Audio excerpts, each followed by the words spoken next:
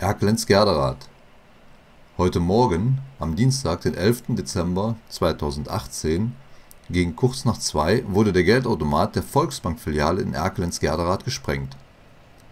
Durch die Detonation wurde die Scheibe aus dem Rahmen gesprengt und die Splitter flogen quer über die Lauerstraße. Im Gebäude selber kam die Decke herunter und die Räumlichkeiten wurden stark beschädigt. Ob die unbekannten Täter Geld erbeutet haben, ist noch nicht klar Zumindest wäre der Weg zum Geldautomaten beschwerlich gewesen, da die Decke auch über dem Geldautomaten heruntergekommen ist.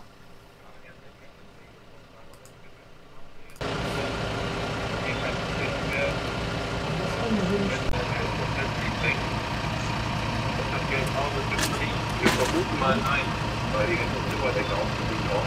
Also das wäre gewesen, da ranzukommen.